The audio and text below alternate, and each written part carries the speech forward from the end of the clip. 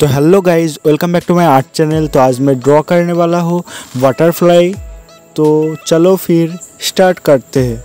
तो इस वीडियो को आप लोग कट मत करना और वीडियो को एंड तक देखना।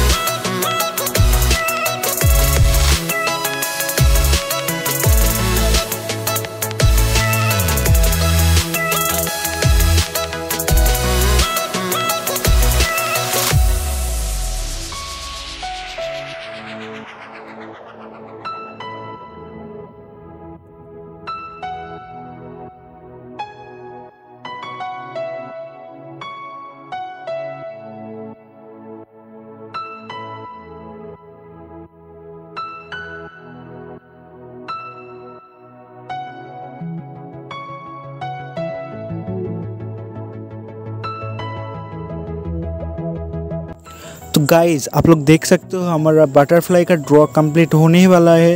तो आप लोगों को कैसा लगा कमेंट सेक्शन में ज़रूर बताएँ और जो लोग इस चैनल में नए हैं, कृपया चैनल को सब्सक्राइब करें और घंटी बजाएँ, क्योंकि अगला वीडियो मिस ना करें।